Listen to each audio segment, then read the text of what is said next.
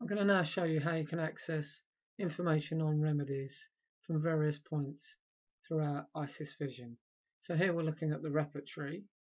If I choose a remedy pulsatilla and I click on it, then we get information come up in this right pane. There's a variety of information here.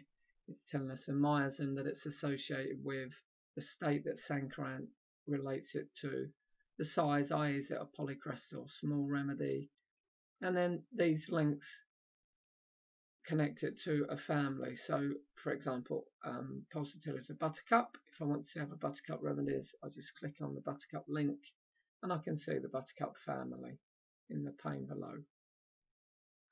This is a, a MM or book search. So if we click here, then ISIS searches every book that's loaded for any reference to pulsatilla.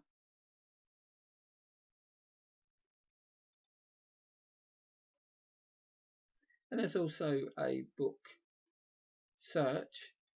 If I click here after highlighting a rubric, then this small pane comes up and we can search the books for any um, any reference to pulsatilla in regard to anguish and we can use all the books or we can select by clicking this button and then choosing a specific book.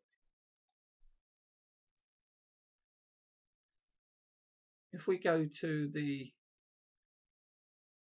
remedy database,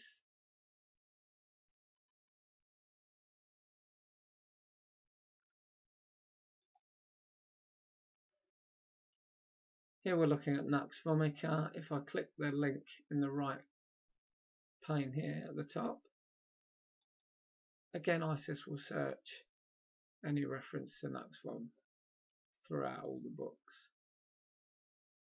I've got a case loaded, so let's repertorize the case. Um, so here's our remedies. If you want to search for a remedy along this line, then you use the, the find button at the top. If I click on, for example, anacardium, then ISIS jumps to anacardium. You can use the slide bar at the bottom as well.